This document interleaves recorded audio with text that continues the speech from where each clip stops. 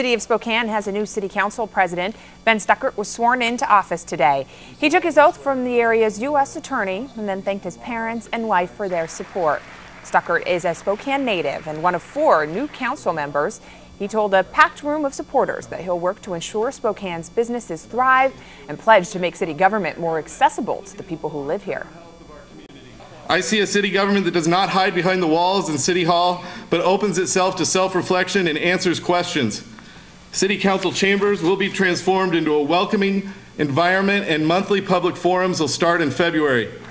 Stuckart says he plans to move the public comment opportunities to the top of the agenda at future city council meetings.